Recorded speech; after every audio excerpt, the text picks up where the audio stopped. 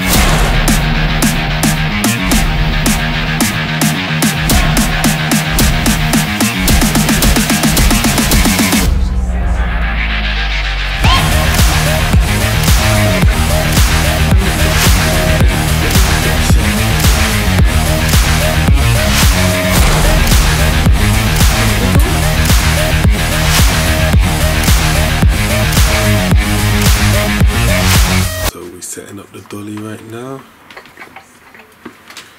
Well, it's supposed to be. We're going on strike, Adrian.